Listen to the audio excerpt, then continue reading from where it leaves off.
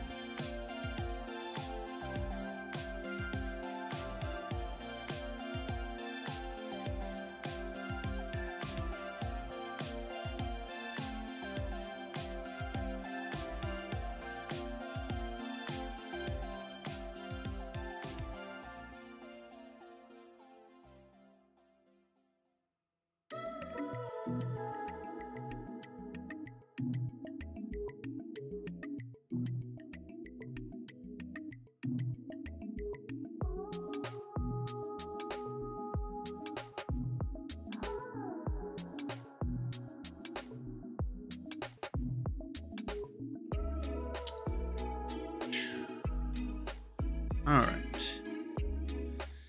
Hmm. Hey, Sviplet, how's it going?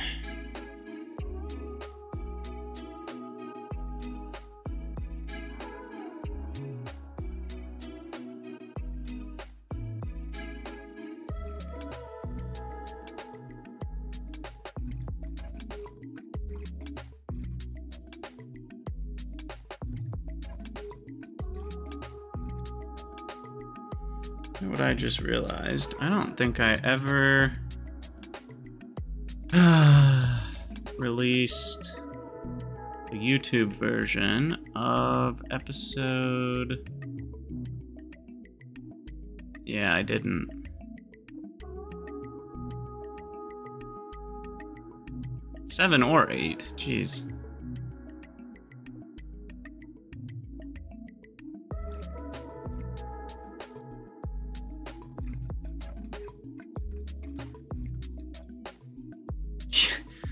Uh, I'd say it's more than a can of beans. It's the whole bean factory. It is it is all of the beans.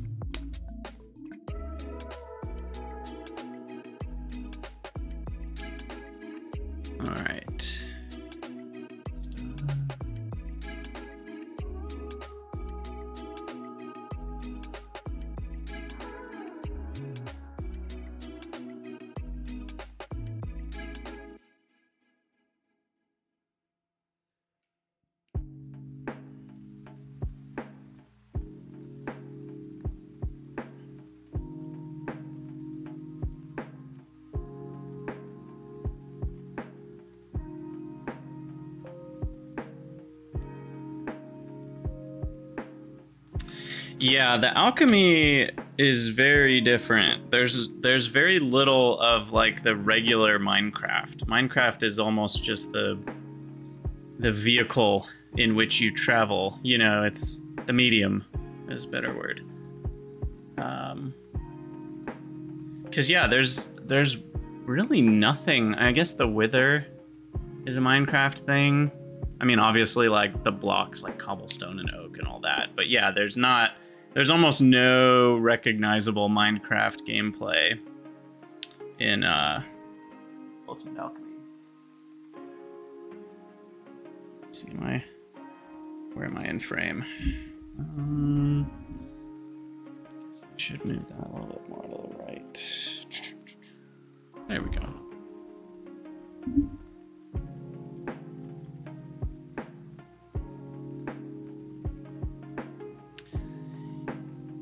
Yeah, Foundry's interesting. I, I can't decide how I feel about Foundry. I think it has some really neat ideas. It definitely it definitely has the some of the cool aspects of, you know, voxel based gaming, but I don't feel like it does enough. I, I mean, I've watched some videos here and there and like the modular buildings seem pretty cool, but also not super flexible, at least not flexible enough. I don't know. It's interesting. I think there's a, a level of like, they haven't done enough to differentiate themselves from other factory games in the early game and you don't get to some of that other stuff till 20 30 40 hours in the game which feels a little weird. And before that, it just kind of feels like anemic satisfactory. Um, so I don't know. It'll be interesting to see how the game evolves. But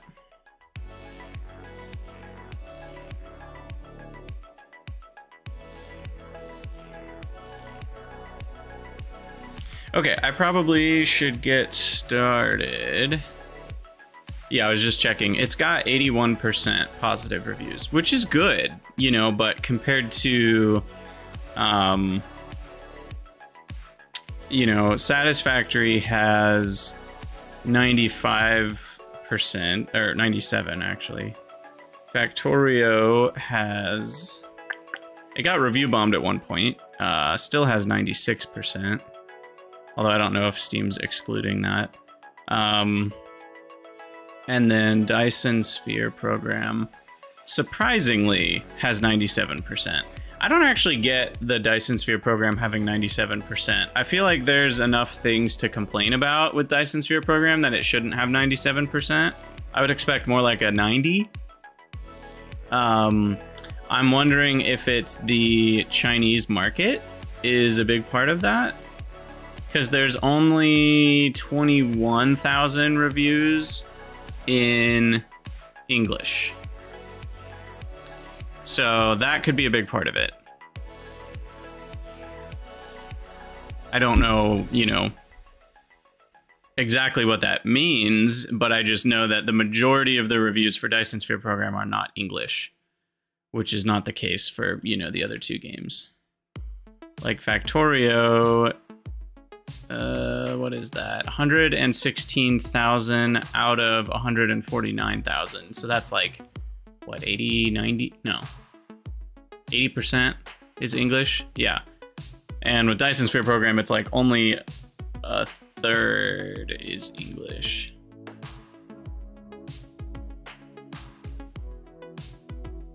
Or less, less than a fourth.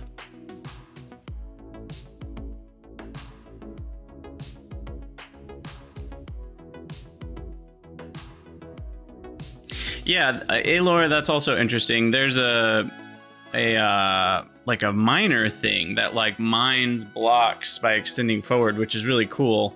Um, but apparently that's not unlocked until like tech level four, which feels like, in my opinion, that should be like the second thing that unlocks. It should be right after you know your drones that are mining things from the top are starting to get a little too slow. Because that it's just such a cool mechanic, you know, to like have this mining machine underground, and I feel like you should introduce that early, not late. Um, I don't know.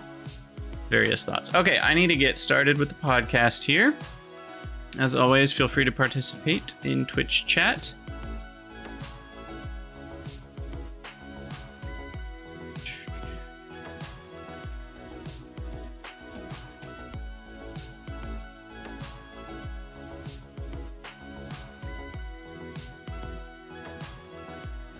That.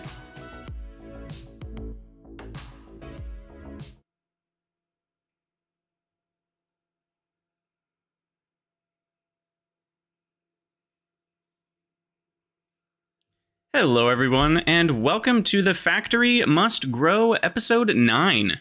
Today we're flying solo again with some Twitch chat chiming in uh, from time to time. It's been a nice week for me. The summer weather is finally settling in, so there's warmth outside and the air conditioner has to run, but I enjoy that. Um, I hope you guys are all doing well.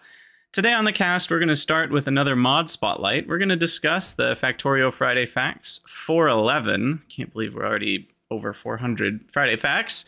And then we're going to discuss some automation game design um, assumptions or norms that uh, I think questioning the norms is always a good thing to try out once in a while. So, what is today's mod spotlight? It's going to be a bit of an unusual one. I normally have been spotlighting Factorio mods mainly because those are the only mods of automation games that I know a ton about. But today we're going to spotlight Satisfactory Plus.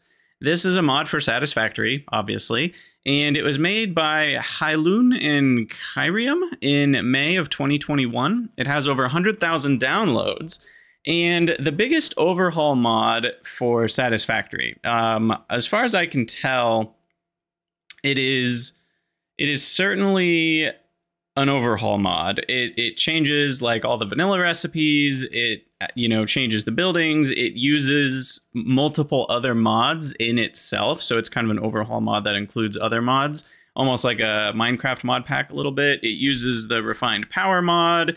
It changes power slugs around. It changes the alternative recipes. So it's really a fresh take on the game, and I think that's pretty cool. So it it says that there's currently eight tiers available it's in alpha, quote unquote. And it takes you all the way from the basics through liquid metals, uh, which is definitely new to Satisfactory. Um, there's oil processing, there's advanced ore processing, all the way to titanium processing is already in the mod. And I haven't tried it myself, but looking at some videos online, it looks really cool. And I wanted to highlight a Satisfactory mod, partially because I know a lot of you are Satisfactory fans and also because some of you didn't even know that Satisfactory has a modding scene, and it does, and it's very much alive. The website that you get Satisfactory mods from is called ficsit.app. And that's F I C S I T, I think. Am I missing a letter? F FICSIT. Yes, sorry. it took me a second. F I C S I T dot app. And that's where you'll find Satisfactory mods which is pretty cool. And I think the fact that ficsit.app is such a good website is part of why they uh, delayed official mod support in Satisfactory to after 1.0.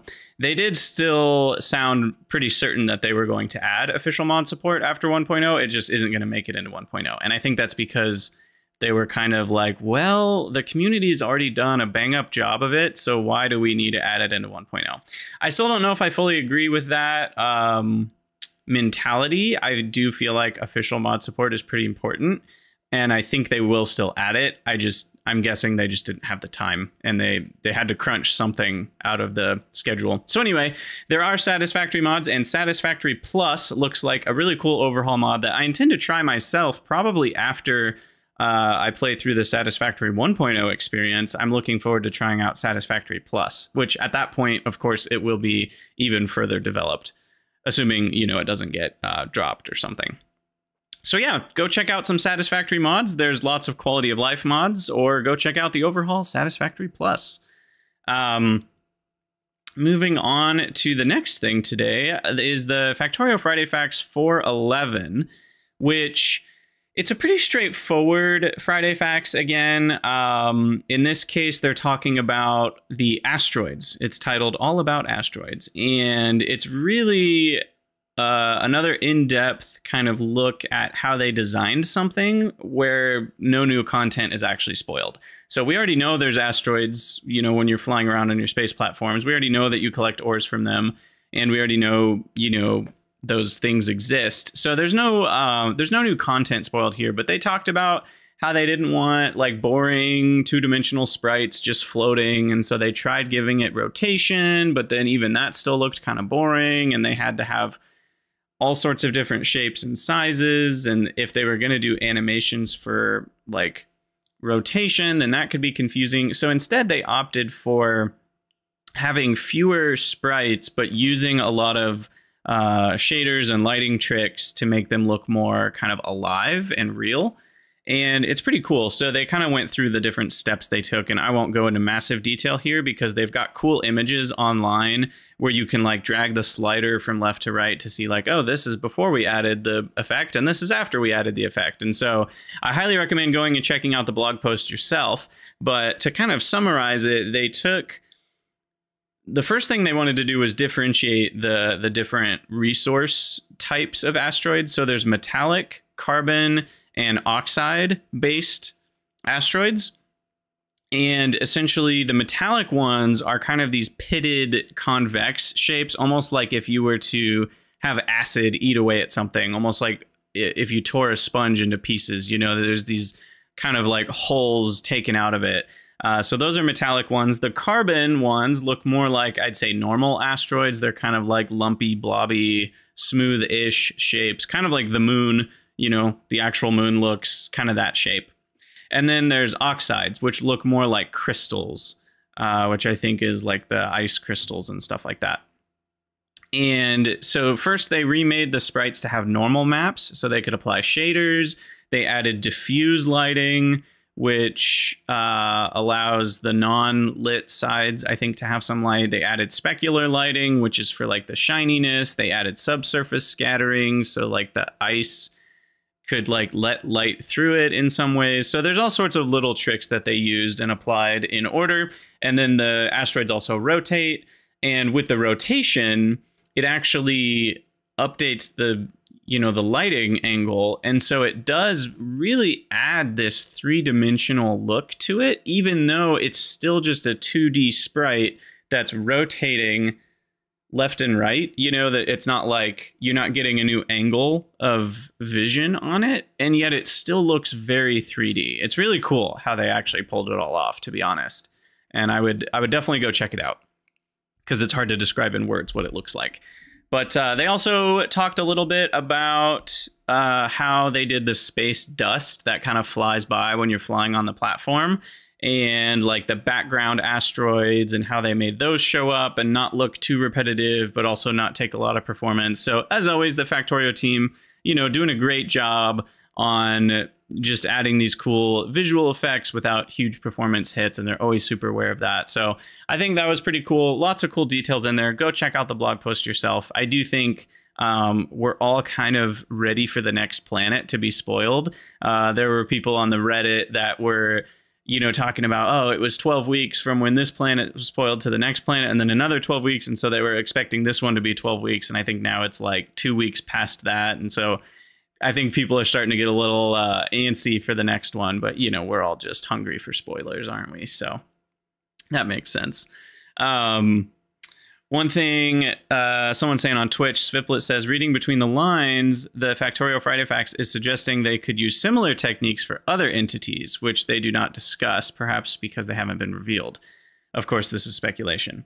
Uh, yeah, I agree. I do think they're going to use these strategies for some other things, uh, especially on the planets. Um, they could even use it for. I was going to say they could use it for something like the player tank or the player model, where you're, you know, you're rotating around as you walk or travel. But the problem with that is then you're kind of implying that the sun is always at a certain angle and right now, you know, we have daytime and nighttime, which implies the sun is rotating around, and they would have to change the angle of lighting based on the daytime. And I and then they would have to add normal maps to every single entity, otherwise the shadows would look all wrong. So I don't think they're probably going to do that. I, I mean, they could. It would just be a lot of work that they haven't revealed any of yet. So it's always possible. Um, yeah, biters they could apply some of those things to, and they don't have to necessarily apply the the normal maps, which is like the lighting direction one. They could also apply some of the other strategies, which are cool. But all that to say, lots of cool stuff from the Factorio team, and we will continue to cover more news as we get to it from there. Uh, the main topic we're going to get into today is why are things the way they are? Why do it be like it do? Um, there are lots of norms in the Factorio or factory automation genre that I think are worth questioning. They're worth challenging even. They might be good, they might be bad, they might be somewhere in between. I mean, they're usually somewhere in between, let's be honest. But I think it's worth kind of chatting about some of the some of the norms and kind of asking ourselves, is this is this a good norm? Is this just here because it's the way things are and the way things have been? You know, I, I think in a lot of gaming genres, we get so used to the norms that we forget to ask whether it's a good thing or a bad thing. One example of this is quest markers on a mini map or even on your compass HUD at the top of your screen. You know, I think about older games like Morrowind, which didn't have quest markers. You would talk to a character and you would get a quest and it would describe, oh, you go past this mountain and then turn, you know, you take a left and it'll be over there. And you kind of have to actually read words and figure out where to go. There is a map in the game but it doesn't put a quest marker on the map where you're supposed to go. And i think that's actually really cool right? And but now every single game I, I cannot think of, of very many exceptions at least in a similar type of genre where you don't have quest markers you know, and it's like even linear map games sometimes have quest markers where it's like there's not even a lot of places you could go, and they're still kind of like, you know, guiding you with a little shining light. And and I just, you know, it's it's become a norm, and I can understand why. Like it caters to maybe a good way to put it is the lowest common denominator people who don't want to work very hard for their games you know just maybe the average joe who wants to sit down and run towards a quest marker and shoot some bad guys or whatever and I get that. But I also think, you know, game design needs to be innovative in some ways and it needs to take some risks and it needs to do some things sometimes that players don't know they want. And at first they might not want it, but then once they once they have it, they realize, oh, that was actually really good. It's kind of like the eating your vegetables um, idea. Sometimes you know, you don't really want to eat your vegetables, but once someone has forced you to eat a salad or vegetables or whatever, you're like, okay, that was actually a good idea. Like that that tasted great and it was healthy for me and I'm actually really glad that somebody made me eat vegetables. And I think video games can do that too. And if they're just trying to make the most money all the time, these companies are often not offering vegetables to players because vegetables don't sell well. But I do think if you want to make the best game, it probably has some vegetables in it. And we've even seen the Factorio team, back to factory games, talk about things like this.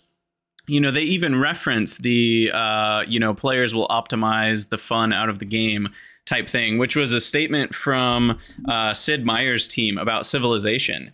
And so it's like you have to design the game in such a way that players can't necessarily optimize the fun out of it because they're going to try. You know, they're going to try to take all the shortcuts. They're going to eat all the chips and popcorn. Uh, you know, and you're gonna you sometimes you have to force it so that vegetables are the only way through, which they might complain about, but then eventually be thankful for. So I know that's a very uh, I take took that analogy maybe farther than I should have, but I just kind of wanted to to start with that analogy as we start to talk about some of the specifics. So the first thing I want to get into is the player having an actual character in the game world rather than uh, what I would call like a strategic command overview, which would be reminiscent of older RTS games or simulation games like City Skylines or Sim City or even The Sims, you know, where where you as the player of the game are just controlling things from usually some sort of top-down perspective, but a lot of games these days allow the camera to move around and kind of fly around a bit more freely. And you don't have a player character. There's no you, there's no avatar in the game, right?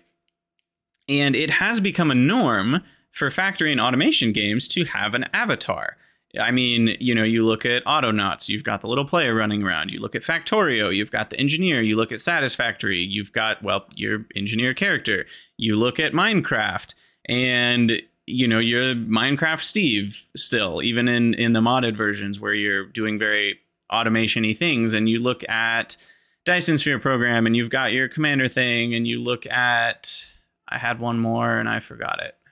Uh, I didn't name one of them, but uh, Techtonica, you've got a character. Foundry, you've got the robot character, right? And so all of these games, you have an avatar. Does that avatar actually serve a purpose? And I mean, obviously, yes, it serves some purposes, but are those purposes worth it? Are the pros better than the cons? You know, so let's dive into that a little bit. Um, I kind of made a basic pros and cons list, and I'm just going to read through this real quick, but then we can kind of dive a little bit further into them. And I want to also just give a disclaimer. I am not a professional on these topics. I am a journeyman in game design. I, I find the topics very interesting, but you know, I, I, do realize there are a lot of things I'm going to miss. There are a lot of things I'm not going to think about. Um, I don't claim to have all the right answers for these things, and some of them there is no right answer. They're a matter of opinion. But I wanted to muse on these, and so if you either disagree or agree or have additional thoughts, please join the Discord and come chat about it. We have a lot of fun over there. Uh, so we'd love to hear what you have to say. So let's uh, start with the pros list of, you know, having an avatar. I think one big thing is that players like to have agency, right? So having a character gives this immediate sense of agency. Like I'm the one who's moving around the world. And I I think there's a huge difference between 3D and 2D games right? So, and I do lump Dyson Sphere program into the 2D world. It's a little bit more 3D because of the sphericality of planets and the ability to travel between planets. So you get a little bit of that like three dimensional movement, but you're still building your bases on a 2D plane, uh, you know, on the surface of the planet. Um, something like Autonauts, definitely 2D. Something like Factory Town is 2D, you know, you can build like elevated things, but it's still mostly a top down perspective and you're mostly building things, you know, in one layer with conveyors and other things crossing over each other. But you're not generally like building entire bases in a bunch of layers like in Satisfactory.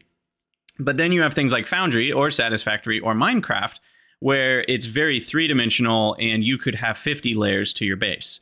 And those are obviously going to be very different between the pros and cons list for players having an avatar. So let's start with the 2D games like Factorio, you know, where where you're mostly playing in two dimensions. So I already mentioned players like to have agency. Uh, movement can be fun, right? It can be fun to move around. Like you can run around. There's little footstep sounds. You you see the player moving. Um, so that's a pro movement can be a challenge, right? So Rygard was on the podcast last week talking about how he feels that Squeak Through is a cheaty mod, which he's technically not wrong, right? Because it removes a challenge of having to design your factory to be walkable. And so, not being able to walk between buildings, you want to design your factory so you can move around it easily. I have seen many people in Factorio playthroughs place a long belt in both directions so that they have almost like a little people mover conveyor that they can hop on and run somewhere faster. And so, you know, none of that would exist without the player having an avatar, right? It, there would be no point. So there are fun challenges that that rise up when movement is a thing. Um, it gives a sense of scale to your factory by having a character with a more or less fixed move speed, uh, obviously you can upgrade it, but when you upgrade it, you then understand that you're moving faster. It gives a frame of reference, it gives a scale to how big things are, how big the game world is. And I think that adds a lot to the experience, right? So in like Pyanodons, when you've got these buildings that are 23 tiles by 23 tiles and it takes a while to run past a row of just seven of those buildings, you really feel the scale of how big things are. And it makes you feel small in a way that's really fun. you know, when you're running through your factory and you're like, I am tiny compared to this massive block of assemblers and inserters and rails and all this stuff. So I think a sense of scale is much more experienced when you have a player character that moves rather than just a camera floating. Uh, one big, I think there's a couple big things that I haven't even hit on yet, which is uh, combat. So combat is massively different with a player avatar, right? And and that one alone is almost enough of a question that like games could decide for it or against it on this question by itself. Because obviously when you have combat in your game, you have a, a shoot button, an aim mechanic of some sort usually you know factorio is mostly auto aim but has a few things you can manually target which i think is actually a really good blend because oh, you know you don't really need to aim your assault rifle. Like obviously you just want to shoot it at the biter you're pointing at and so i think that works pretty well. Um, but you know when you're in a tank you want to be able to shoot your explosive shells in a certain direction stuff like that. So i do think the combat I would almost say it's not necessarily a pro or a con. It's more like combat is kind of impossible to do in the same way without an avatar. Because if the player doesn't have an avatar, you would have to hide it underneath, like, oh, you're taking control of a certain tank. And there have been RTSs in the past where they've like given the player the ability to, you know, zoom into a soldier and like play it uh, from that soldier's perspective or something. But I don't, I don't know of any games like that that ever really got huge and were super amazing. If there are, let me know because that sounds cool. But you know, I know some games have done that. I just I don't think it's ever been a super popular mechanic, and I don't think you know in a in a Factorio style game, if you didn't have the avatar, you would probably be able to build tanks and command them around RTS mode. I think that would make the most sense. And that's how a lot of strategy games work in uh, strategy games that aren't RTS but still have combat, often you can you know select your units and command them around still, even if it's not an RTS. Um, yeah, so all that to say, I, I do think there's there's a level of if combat is a part of your game at the core, then it would be a very different game whether you have a player avatar or not. So I do think that's a big, you know, a big uh, decision point if you're designing a game with combat. It's like, are we going to go with the more autonomous combat where the the player is the commander of the units that are doing combat, or is the player the unit? And I like that Factorio allows you to kind of control the Spidertrons later, which kind of allows you to say, hey, I'm the unit for now. Like, I'm the thing that does the shooting, I'm the thing that hops in the tank. But later, I can get these Spidertron remotes, and then I can tell them to go do the combat. And that does feel like the natural progression of like I'm doing a thing. It's kind of tedious. It I, it's risky. I might die, but later I can have the Spidertrons do the thing, and it's automated. Now, you can't fully automate combat in Factorio in the sense that they just run around and kill things and automatically go back and repair themselves and get more ammo and all that. But it's it's more automated in the sense that you can just tell them to go walk over a nest and it'll get it'll get blown up. Um yeah, so a few people are saying some interesting things in uh, Twitch chat. So one thing that was mentioned is um, Captain of Industry. I completely forgot about Captain of Industry, which is funny because I'm doing a playthrough of it right now. So I don't know how I forgot about it. But yes, Captain of Industry is a factory game that does not have a player avatar. There's no player, there's no inventory, there's no combat. Um, if there is combat, I, I am pretty sure there's. Well, oh, okay, sorry. There, there's like the ship combat, but that's that's more like a mini game that happens. I, don't. I wouldn't really call that combat. Um, so yeah, the there's no player character and it really doesn't feel weird. Like when I've played Captain of Industry, I don't get this feeling that something's missing. I, in fact, I don't even think I've noticed there's not a player avatar. Like now that I think about it, of course, well, there's not a player avatar, and I've known that since I started playing the game. It's it's a very obvious difference when you look at it, but I don't think I noticed it as a difference it didn't feel wrong. It didn't feel weird as I was automating things and getting things set up. It's not like I was like, oh, this just something about this feels wrong. Um, So all that to say, I think they've done a really good job at creating an automation game where there is no player avatar. I want to get to the cons and then I'll talk about another game as well. So, oh, sorry, I had one more pro. The last thing on the list, and this is another huge one that again is really difficult to solve without a player avatar. So I think a lot of games go with having a player avatar for this reason alone. Multiplayer. In multiplayer, it gives each player an interaction point with the other players, right? Like in in multiplayer Factorio, people do funny things like building belts underneath somebody else to make them go in a little circle or whatever. And like it gives you this sense of like, oh, this is where my friend is and I can interact with them and I can build walls around them and you know, play pranks on them and I know where they are, I know where their attention at least you know in the late game you can do a lot of stuff remotely but in the in the earlier game like i know where their attention is focused. I know where their inventory items are living right now. Um so so all of that is kind of collected in this idea of an avatar in multiplayer. And imagine if you were playing a multiplayer game where you don't have an avatar.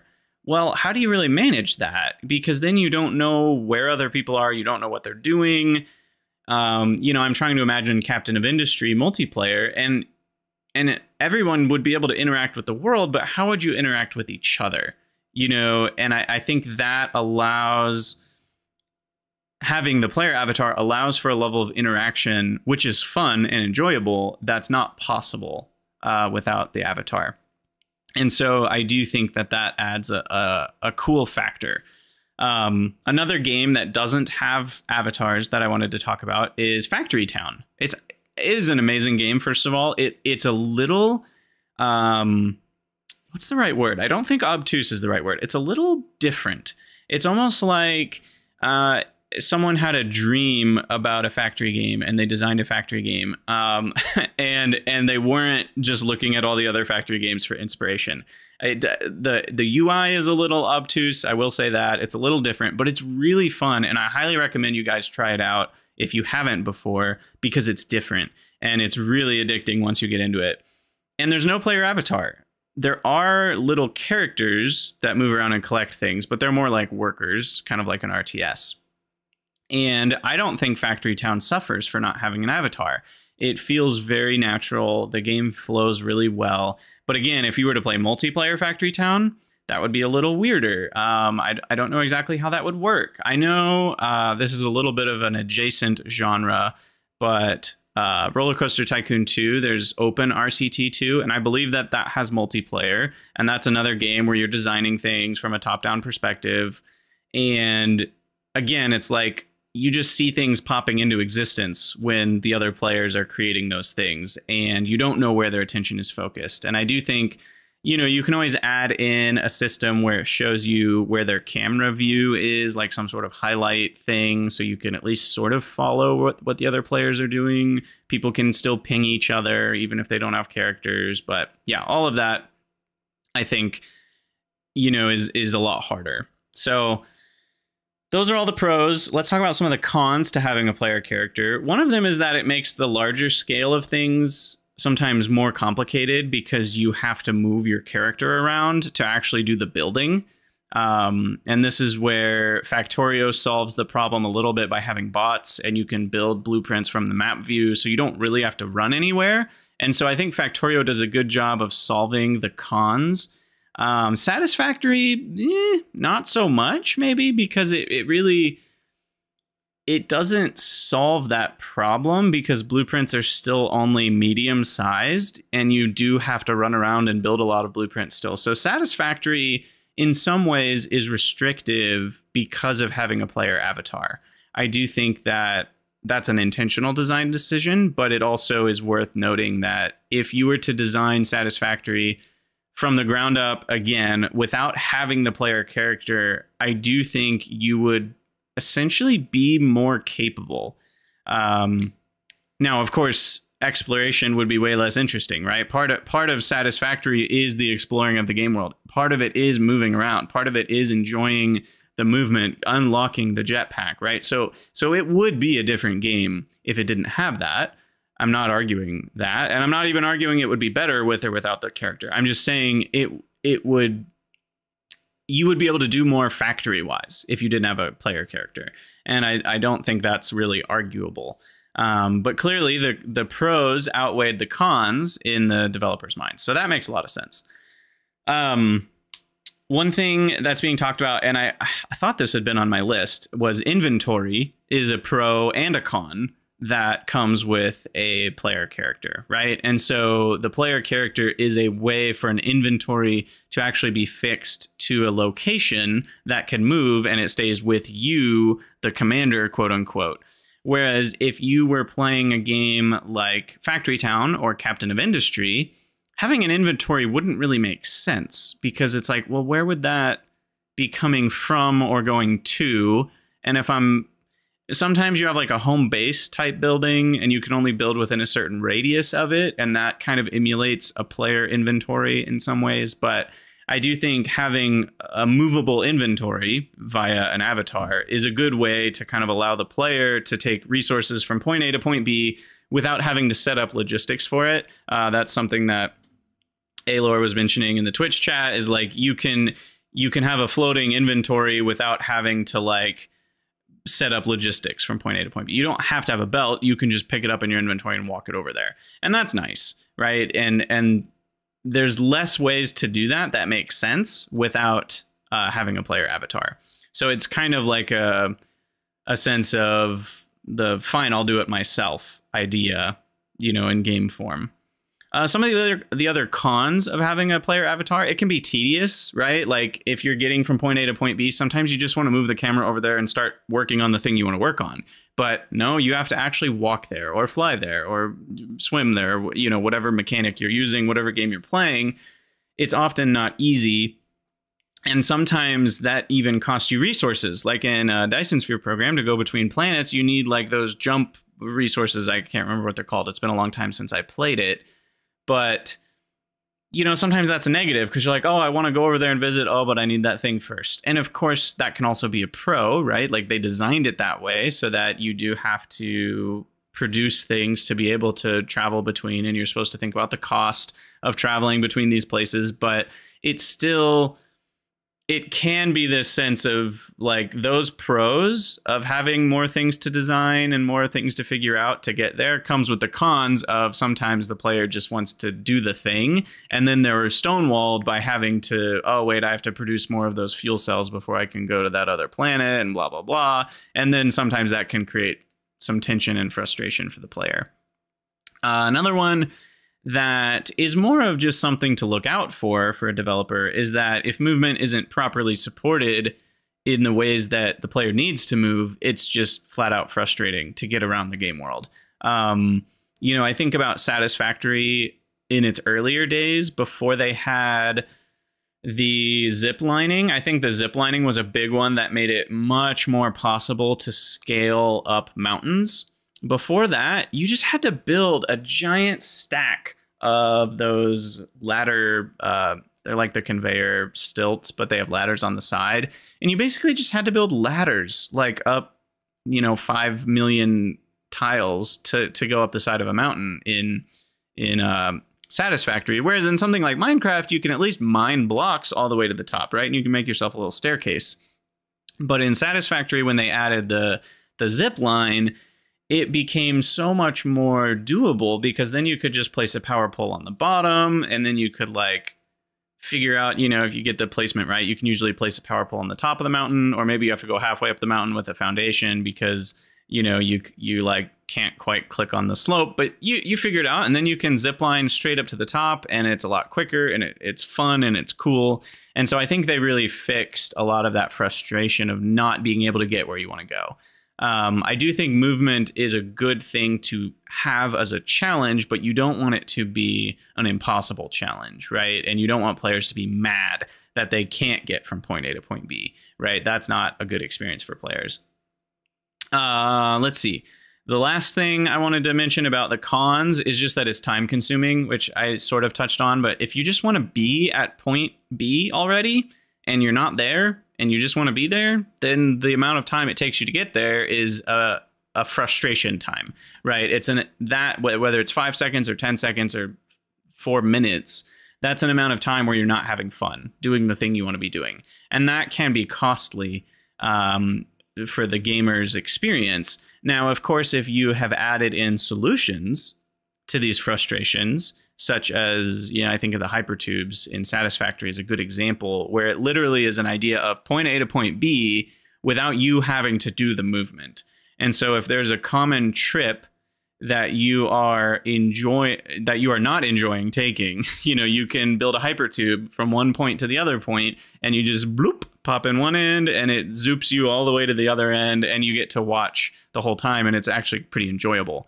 So I do think that a lot of games take measures to remove this frustration and you know the devs know and they themselves probably experience some of those frustrations. But again, it's worth asking in game design like is the movement actually good for this game? You, you look at Captain of Industry, there's no movement. And I don't think that that costs the game anything. I think that the game is better off being the way it is, not having a player avatar.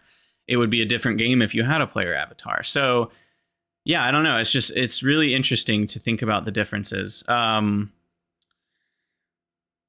let's see. Sorry, I'm just looking at Twitch chat real quick. Uh, one thing that was mentioned is that the avatar is kind of like a manual override for the game, and I do think that's a good point um, because Captain of Industry has some quote unquote manual overrides as well, and it's a very different system that's more. Uh, what would you call it? Uh, like magic right? It has this system called Unity, and you can click on a building that's waiting to be built, and you can click, oh, deliver resources instantly, and it costs you some of your Unity, which is it's a renewable thing, but it also maxes out pretty low, and so you can't just use it all the time. But it kind of allows you to focus your intent as the commander of the factory into a certain spot, and you can get stuff done faster. You can boost buildings sometimes with it, and there are certain automation challenges that you want to do to boost your Unity income so that you can utilize more of it doing some other things. So that is the replacement in many ways for having a player avatar. If you think about what a player can do in other factory games, the Unity system allows you to emulate many of those operations. Like, oh, I, I can't wait for the automated system to get iron from point A to point B, so I'll just spend some Unity to do it. Or, oh, I can't do handcrafting. I haven't even talked about handcrafting yet. Um, someone mentioned it in, in Twitch chat, but you know, if you can't do handcrafting, well, now you can boost a building with Unity for a little bit so that you get more iron plates for a little bit. Because in early Factorio, you know, your your handcrafting is just as fast as an assembler, and you've only got three assemblers running. So your handcrafting is, you know, just as important as the automation. Um, yeah, so I don't know. I, I just think those are really interesting questions to ask yourself as a dev as you're designing something. Why do we have a player avatar? What is the purpose of a player avatar? It how does movement work? Is movement a big part of the game or is it an afterthought? I would argue in Factorio, movement is closer to the afterthought category than the big part of the game category, which is why so many players like Squeak Through because they consider that movement is not really a part of the game that they care too much about. And they want to kind of remove some of the frustrations that come with movement. And they're like, well, I don't want to have to worry about walking around my buildings. I just want to be able to walk between them. So they get squeak through, you know, and, and I think that that's a very relevant, uh, or not relevant, reasonable choice for players to make because Factorio isn't really about the movement you know, it is just a top-down 2D game. You move left, right, up, down. That's it. There, there's nothing more to it than that. And yes, you get vehicles that allow you to do that maybe faster, or you get the Spidertron, which allows you to walk over buildings and you don't have to even run around them or between them. If you have squeak through, you can just move whatever direction you want. And that's really nice. But I don't think I don't know. I, I, don't think that it makes movement any more a part of the gameplay experience, you know, and exploration is also a big topic that you want the player to enjoy movement if they're going to have to explore, such as in Satisfactory. Because in Satisfactory, the exploration of the game world, first of all, it's handcrafted, which is beautiful. So that inspires you to want to explore. Uh, the resources are pretty far away, so you need to explore. The hard drives are sort of hidden or in cool or special or hard to reach areas, so you need to explore kind of in more than just the easy ways. So Satisfactory, I think, does a really good job of mixing joyful movement. Like it's fun to move as a player character. The sliding and jumping feel good. It's not physics realistic. Like you are very floaty. You're very fast. Once you get the Blade Runners, that's even more true. You know, you and I think all of that makes it more fun rather than like, oh, we have these realistic sprinting mechanics and you know, you look at um uh, Minecraft, where it's like, oh, every single time you're walking up a slope, you have to just spam the jump key. You know, like that's not that fun at the end of the day if movement isn't what you're there uh, to play the game for. And so that's why a lot of mods in Minecraft add things that make movement easier. You know, same story. Uh, I do want to talk about inventory a little bit. Um, we already touched on it with like player avatar, but even then, why do we have an inventory at all? Does the character need an inventory? Like, what's the purpose of having an inventory? And I do think, um, I think it was Sviplet that said this that the manual override idea is an is one of the big reasons why we have inventories in factory games because it's like, oh, I don't want to have to build a conveyor from point A to point B. Every single time I want an item to go from point A to point B. So, how else can you do that? And the answer is well, you have a player inventory and the player can carry it. And I think that is probably the main reason why these games have an inventory. I do think it's a bit of an assumption though, because when you have a player, the player has an inventory. That's just how every game works. I mean, if not an inventory, the player at least has equipment slots, right? Like I, I almost can't think of a game where that's not true. Where you control an avatar and you have no ability to equip things or hold things in some form of inventory or equipment slots.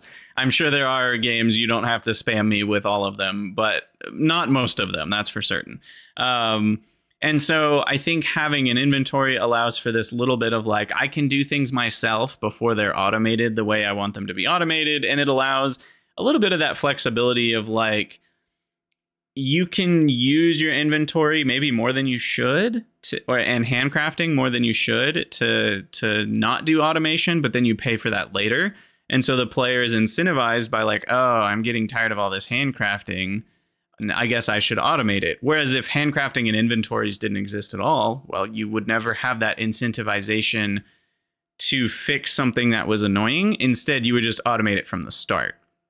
And that's more what factory town is uh, because there is no player inventory in Factory Town, you do have a hub base thing that contains your building resources. And when you build uh, objects and buildings, it comes out of kind of that like bank, so to speak. Uh, but there's no inventory. You can't move items around yourself. And so you have to have your little meeple people like carry things around at first. And then eventually you get carts and belts and better ways to transport things. But there's also the difference between items and currency. And I'm using currency as a broad term, but if you think Age of Empires, right? Gold is just something you have as the commander of the RTS game. And you can spend gold and wood and food and stone to build buildings. Now, the villagers have to go there and do the construction of the building, but the resources don't have to get there. They're just automatically teleported. So as soon as you've collected a resource, it's in this magical bank of resources that's infinitely large and you know those resources can be teleported anywhere on wh- wh- however you want. And Factory Town actually has currency. It has coins.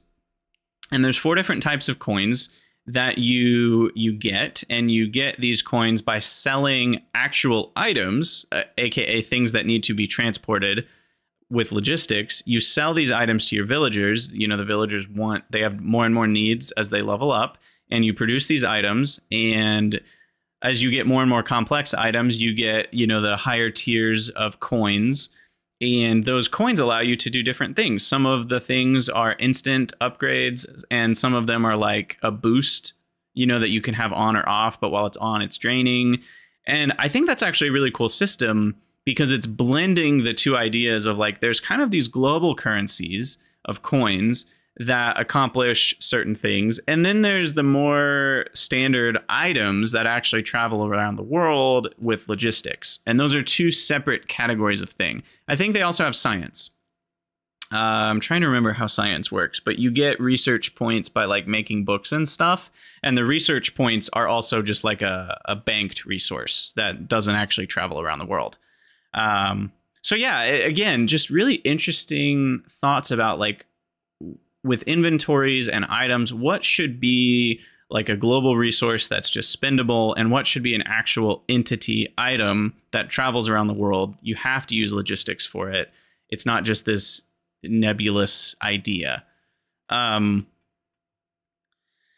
yeah. So one other thought I had with the item stuff is uh, moving on to the research side of the item stuff, like research packs uh, versus just research itself.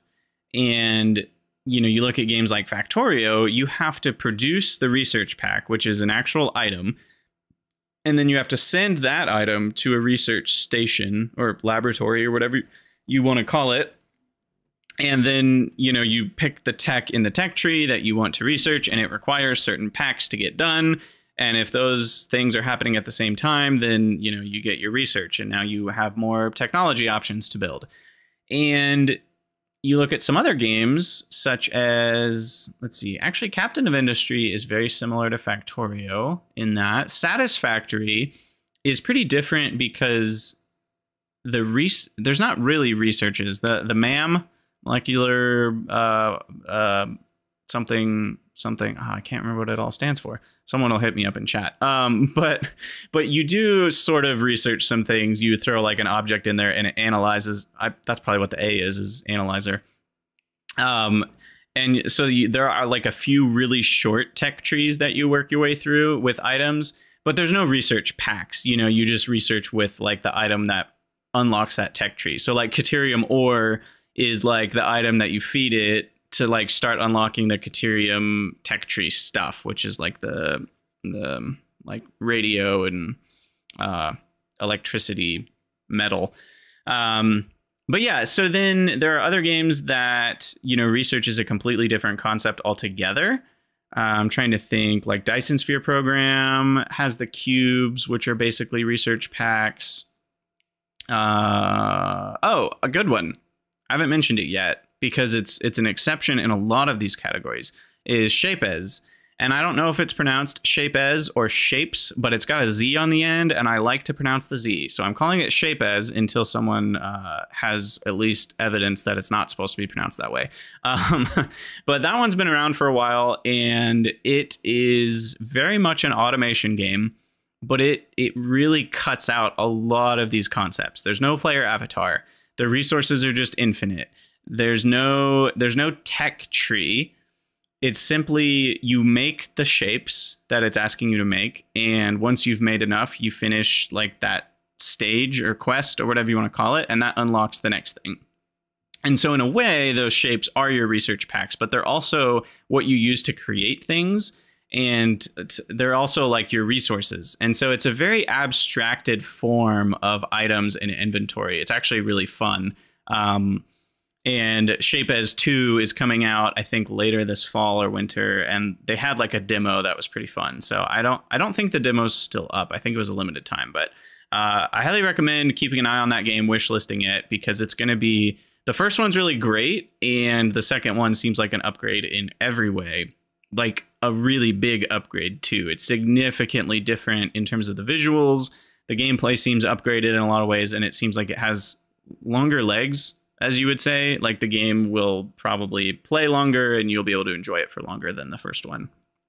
Uh, all that to say, you know, you look at a game like Shapez and research is not even really a thing.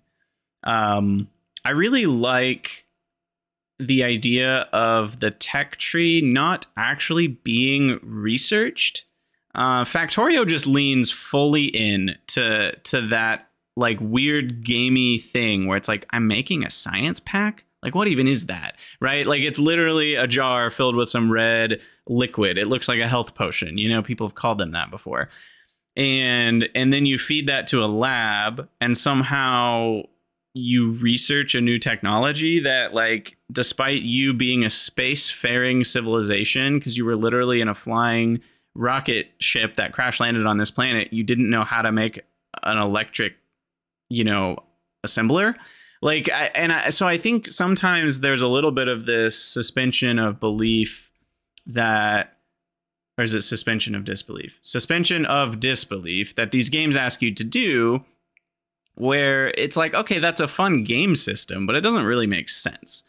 And Satisfactory tries to do it a little better because they hide it behind this idea of like the FICSIT uh you know like company and they're sending you the blueprints like as you're ready for them. And so obviously when you first crash land on a planet there's only certain resources you even have the means to collect. And so they're only like giving you the ability to utilize those things for now. And then as you collect more and prove that you're capable enough to like work with the next types of things and the next types of machines and materials, then those things are unlocked. But it's not like you're researching them. You're not discovering that they exist. You're not discovering how they work. You're simply receiving those blueprints, you know, to yourself as almost a reward. And then I actually really like, to be honest, the way that modded Minecraft does it, which is just there is no tech tree. There's no technology. There's no research you just literally can't make certain things until you have the resources for it. Once you have the resources for it, you can make whatever you want. And the mod pack designers just gate things such that you need a certain set of machines to make a certain set of materials to make the next thing that unlocks the next set of machines. And by doing that, you can make these tech tiers without having any research. And I think that's a really elegant way to do it. And right now I'm playing through GregTech New Horizons, which you guys probably know. But the quest book is, in a way, the tech tree. But it's not a tech tree, it's just a quest book. And it's leading you through what you can do and what you're already capable of doing. At no point in the quest tree is it unlocking something that was impossible before. And I think that's really a cool way to design progression because it feels very realistic, it feels very natural that's how it would work in real life. You know, if there was an apocalypse and you had to go do things, there's no tech tree where you're unlocking things. You might get a book to read some stuff so you know more. You might, if YouTube still exists, which it probably won't, you know, you might need to look up some how to videos. But like, you're capable of anything. It's just a matter of what tools do you have, what materials do you have, and how can you work those tools with those materials to make something new and that's how Minecraft does it. And so I do think there's different approaches to the idea of a tech tree and right now kind of the standard is one that I actually don't like, which is the which is the Factorio, it's the Dyson Sphere program. It's the you make some form of research pack and you select a technology and those research packs give you some amount of progress towards that technology and when it's done, boom, you've unlocked new things. Um, I'm actually not a fan of that. And it, it is right now the gold standard. It's what most automation games are doing. And I think that in particular is one that I would say let's ask some more questions as developers. Should we really be doing that? Is that worth it? Is that a good system? Is this the funnest thing for players? Is it the I mean, it's definitely not immersive or realistic, but you know, let's be honest. A lot of the bits of these games aren't, so that part's okay but at least Satisfactory does a good job of like covering that up. You know, and I think Factorio is interesting because it doesn't it doesn't really try at all to cover up the weirdness of that. Then again, it doesn't have a story at all. The most story you get is there's like what two sentences when you start the game that say like you've crash landed and uh, it says something about collecting resources or automating. I don't even remember what it says, and that's it. You know, the rest of it is just them sending you on your merry little way. Uh, so it's interesting that like the goat game has such a cookie cutter and I will use the word boring approach to a tech tree and to research and to a story even explaining that tech tree and research. Um, it's it's one area where I think the game has not even tried to improve. Now, you you can look at why the tech tree exists and how it's set up, right? Like and this is exactly what Satisfactory does too, where it's like, "Oh, we want the player to automate certain things before they get to this next stage of research." so that like you know you have iron plates automated and you have iron gears automated and eventually you have to have inserters and belts automated to unlock green science. Well those are two things that the player needs to build a lot of and so they're kind of holding your hand as you walk through the tech tree. And so it's kind of this cleverly designed almost quest book in a way where they're like hey you should do this but it's kind of like a you have to do this to progress. So you don't really realize we're telling you you should do it. And it's almost this hidden kind of sense of ooh we're gonna give you more and more stuff. Um, now as far as yeah Swiplet, you're mentioning that they didn't want to overwhelm the player. And i think this is the reason tech trees exist in most games. I mean look at rts games. Part of it is progress you know as well. Like you you start with a small base. Um, but i think there's a level of like they don't want the player to start the game and have 5700 recipes that they have to look through right? That's too much. You don't want to overwhelm the player. You don't want the player to start the game and immediately be assaulted by all of their options that they'll have through the end of the game. And so if you don't have a tech tree you do need to find a way to slow down that knowledge so it's not a fire hose that hits the player the moment they start right? And a tech tree is a great way to do that, and I believe that's why a lot of games have tech trees. Um, do do do. is it cookie cutter because everything copied them? Yeah, I guess that's a good question. Like, was Factorio the first one to do that? And I would say no, because tech trees are a thing in many, many, many games long before Factorio, and needing some form of science. Like you look at Civilization, for example, which was around before Factorio, and even though it's not an automation game, it's at least in that direction where you're producing resources every turn, and those science production bits go towards researching the tech that you have selected. So I do think, in many ways, that was a, a video game uh, standard for a while. Um, because even Civilization was doing it in a very similar way long before Factorio. So I wouldn't say Factorio was very innovative in any way with that. Um, it was more just like, let's figure out a way to tie this into automation of items. Um, yeah, I don't know. All that to say, I, I would like some new systems. I'd like some cool systems that feel like they fit better with both what's realistic and they also still do a good job of not overwhelming the player. They do a good job of walking the player through the progression because obviously progression is massively important in these games but they do it in a way that's not just i make science packs i do research i unlock new things and rinse and repeat until i beat the game. Because i do think that that is not that's not the iterated upon best result. It's simply a good functioning system that does what it needs to do but it's also not special and it doesn't add anything to the game. I don't think anyone plays uh, Factorio and they're like, oh my God, I had to make science packs. That was so cool. You know, it's like, oh, that's just kind of like how you progress. And uh, that's not the part of the game that's amazing. There are a bunch of parts of the game that are, but I don't think that's one of them, at least not in my opinion. And I think and I don't know if Factorio itself could change at this point because it is what it is. And I don't, I'm not, again, I'm not trying to hate on Factorio or say it's bad or anything like that or bash the devs. I just think there are better ways to do research and tech trees. And I would love to see some new and innovative like breakthroughs in that category. Um, yeah, and and you know, people are mentioning that having to make science packs kind of forces you to scale and automate in a certain way, and I agree. It is it is the method of handholding, and it does accomplish that task. I think there are other ways to accomplish that same task, though, that don't involve the the player making science packs and picking technologies from a big flowchart. Um, you know, I, I think that that I click on buttons from a flowchart to progress my technology.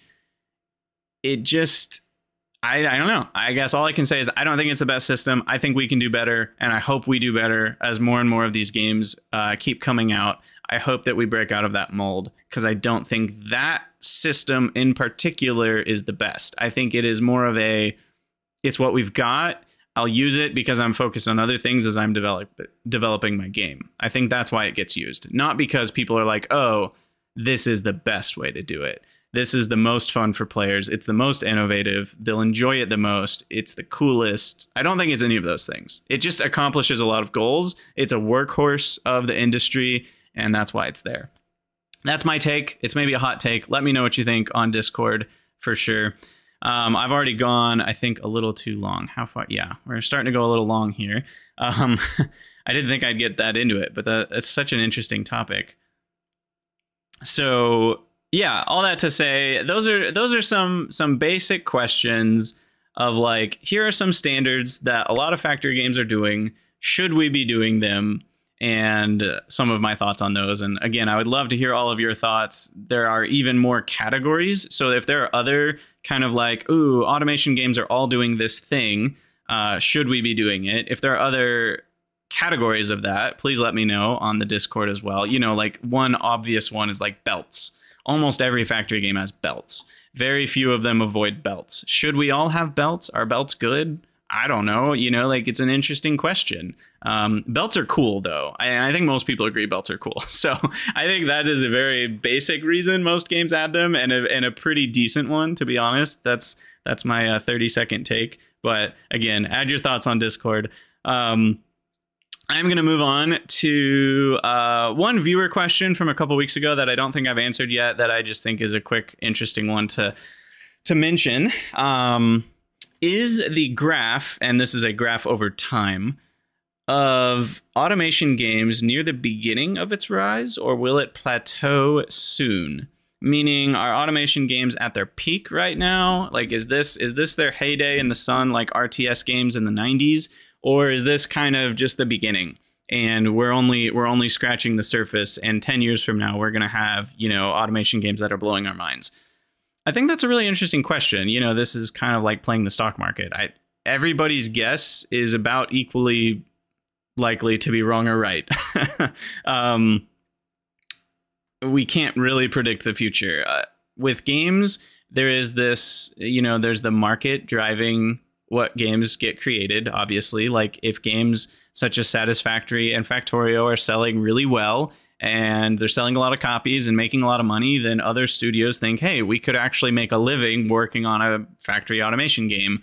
And you know, as much as I wish the world didn't run on money, it does. If if these games stop selling and players stop playing them and buying them, there probably won't be very many made. There there are always people who will develop games both for free and people who will develop games at a loss. And so there will always be factory games because I think there's enough people who love the genre that the, the genre will live on. But will it be bigger than it is now? And I don't know yet. Yeah, I, I hope it is. I think it's getting more popular. It's definitely um, booming in terms of the indie scene. There's a ton of these little games coming out that are made by either one developer or three developers or a tiny indie studio. And, you know, they look like they're kind of fun, but like, is that really like that great of a game? You know, and so there is a, in terms of the number of games that are being made, we might be close to the top because I'm guessing a lot of these games are going to fail because they're not all that amazing and it's really only the the best ones that rise to the top. And then I think we'll probably come down a little bit in terms of the amount of games created, where you know only people who really think they can make a great game that does something new and special are going to throw their hat in the ring. And so at that point we'll probably see fewer games but higher quality games and you know it'll it'll kind of balance out as far as how many players are playing the genre per day, I don't even know how I would measure that, and I don't know how I would see a graph of it. If you have ideas for that, I'm curious because that could be kind of cool if we had a way of tracking that. But I'm guessing that number will grow over time. I don't think we've peaked in terms of interest in the genre. I do think we're kind of in the heyday of like how many new games are available every month. I think we're in the heyday of that for now and maybe for a couple more years and then I think it'll start to slow down because a lot of the games that weren't that great, they're just going to flop. You know, they'll have 20 sales, 100 sales, 1,000 sales, and then, you know, they'll die out. And then other people will be like, yeah, there's already like 5,000 factory games. I could make one. I have some ideas that are cool, but I can't make like a great new one that will blow people out of the water, so I won't try. And I think that will then prevent a lot of the smaller indie ones. And, you know, there will probably be the little roller coaster of ups and downs over the years. But yeah, it's a really interesting question. And that's, you know, just my my take on it. Obviously, I can't predict the future, so who really knows? I'm excited to see where it's going, though.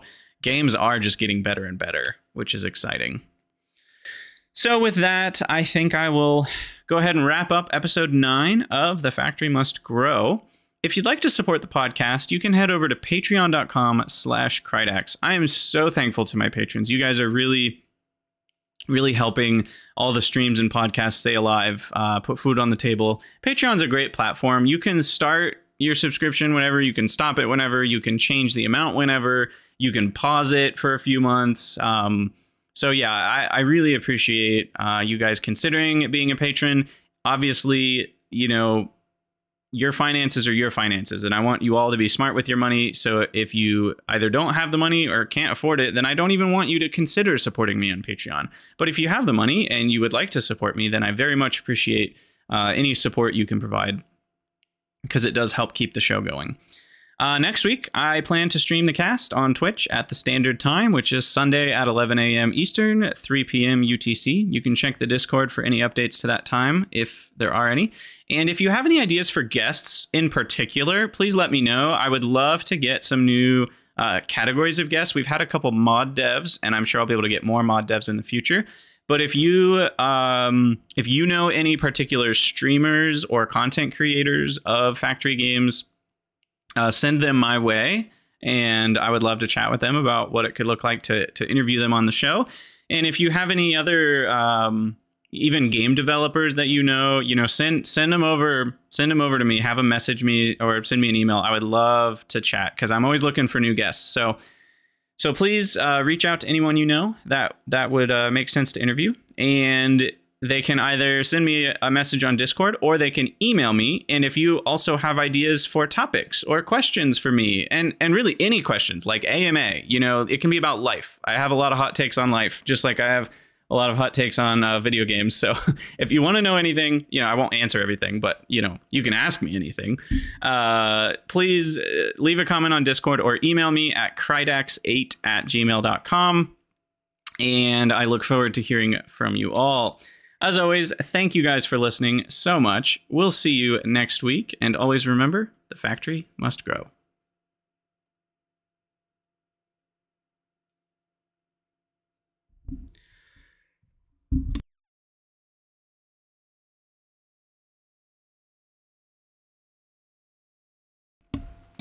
I really should have taken a water break in there somewhere. My throat was getting so dry. Ugh.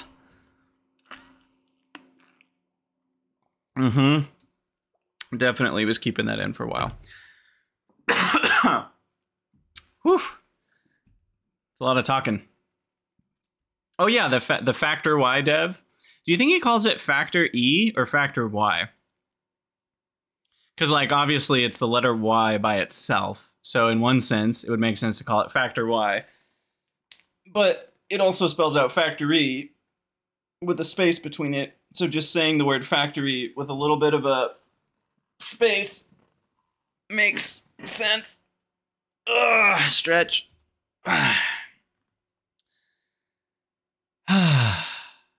Maths or mathematics? Yes. Now that is an interesting topic.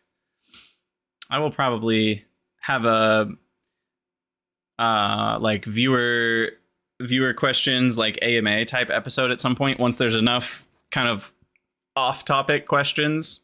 I don't want that to be the norm, but but having like an off topic episode once in a while I think is pretty fun. And so something like math is a great topic for that and just kind of like different thoughts on math as a field, math as a specifically a taught subject in schools is the one where I have the most opinions. um, but also I just think culturally and I, I can only speak for America. I can't speak for other countries, but culturally, math is just way, way, way, way too hated as a concept, even. And that really frustrates me for many reasons, most of which is because it's taught to be hated. Children don't hate math uh, they're not born hating math, right? Like they're taught to hate math, and that's what really bothers me. I won't get into more right now, but I could talk about that for a long time. um, anyway, so yeah, please do. Uh, you know, you guys here on Twitch, if you do know anybody, um, send them a message to message me. I it's much easier if people reach out to me, obviously, than me reaching out to them. I'm happy to reach out to people and request like, "Hey, would you want to be on the podcast?" But that's more like cold calling. Whereas if you have a personal connection with someone, then you can tell them about the podcast, send them a link to the podcast, and then they can, on their own time, check out the podcast and decide if they want to reach out to me. And that feels a little bit more organic uh, because I don't want to like pressure people to be on the podcast. But if they want to be on the podcast, I'd love to have them. And there are a few people that are definitely worth cold calling just because I think they're awesome and, you know, I'd love to have them on. But yeah, as you know, if you guys are in other discords for devs or content creators or uh, you know mod devs or game devs. Um, I'm interested in all of it. So yeah, it's true. Most people don't like things that are hard, and math is hard for many people, partially because of how it's taught, partially because they're told it's hard. I agree with that. Um, but yeah, it is. It is interesting. It is very interesting. I just wish it was more culturally accepted. You know, it's even like I've told people before in life, like I'm a math teacher, and people are like, "Oh, God bless you." And it's like, what?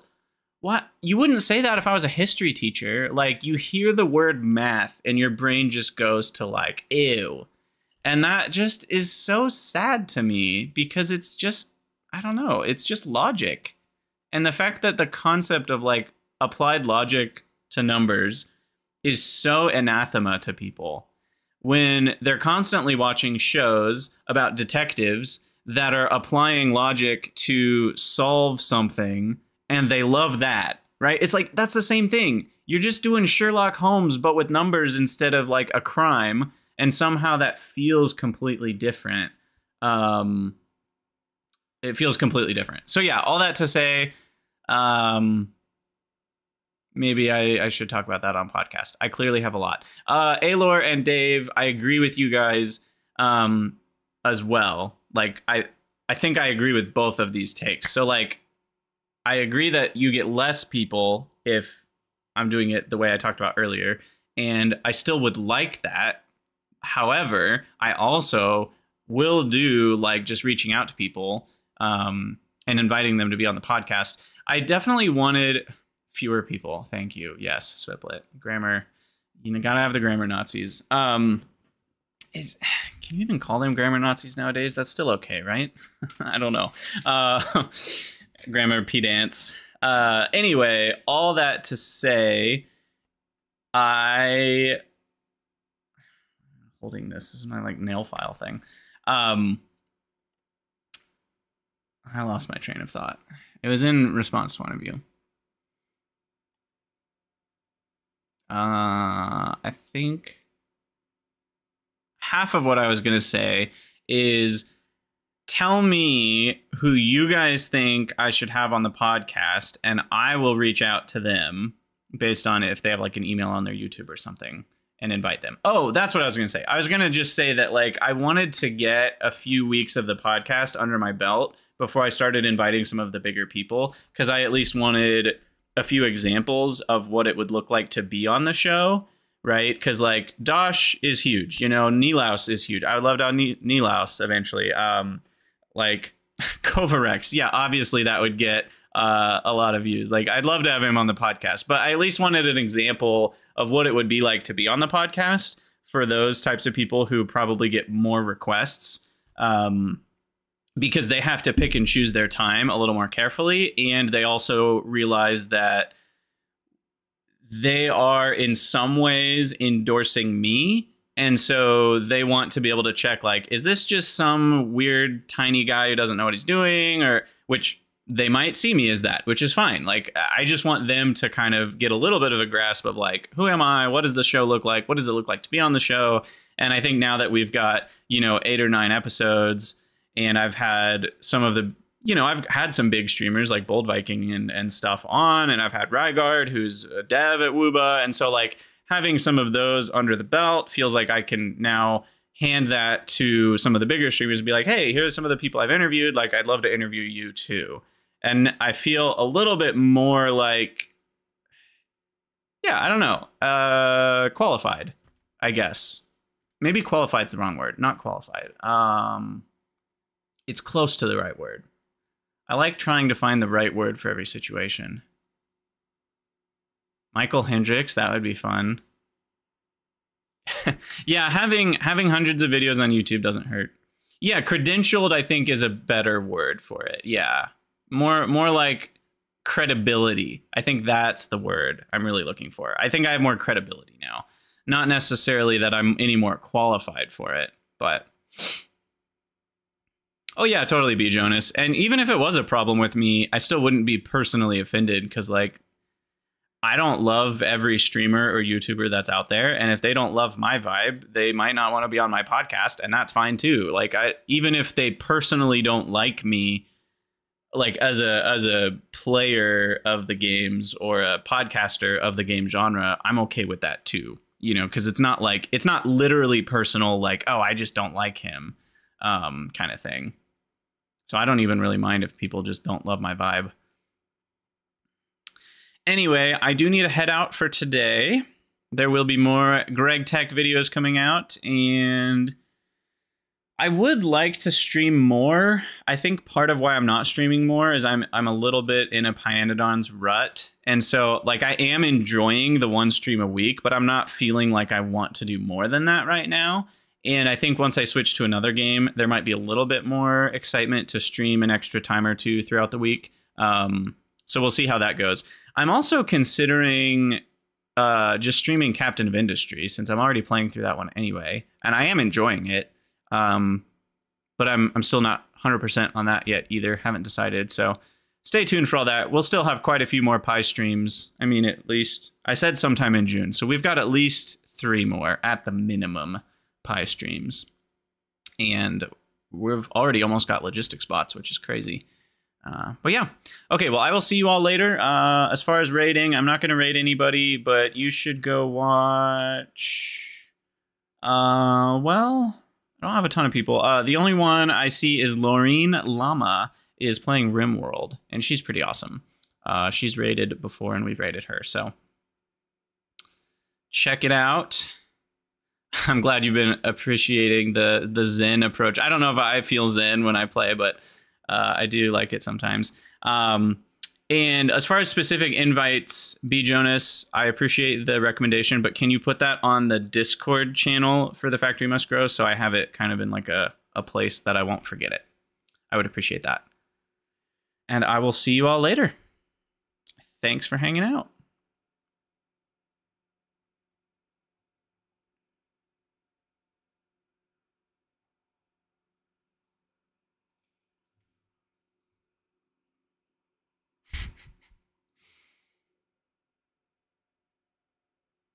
See you later, Swiplet. Salsa, don't worry. Someday, someday Melvor Melvor will happen. There's actually a reasonable chance I at least do one stream when the when the expansion comes out. There or at least not necessarily like the day it comes out, but after it comes out, I might get it at some point and stream it. Cuz it is a fun game, and I do think a lot of people who follow my channel might like it as well.